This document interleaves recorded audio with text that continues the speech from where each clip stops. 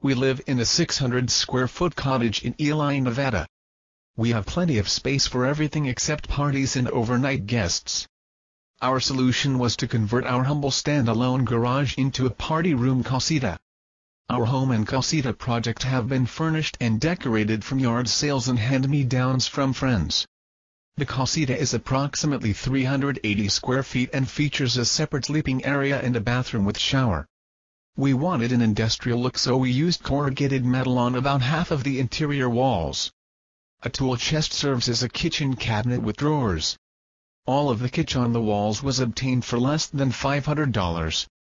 We did a lot of the labor but did use a contractor for the plumbing and the electrical work. An evaporative cooler provides cooling and space heaters are used for heat. A coffee pot, toaster, and an induction burner have been sufficient for our guests' cooking needs. The remaining garage space is just large enough to house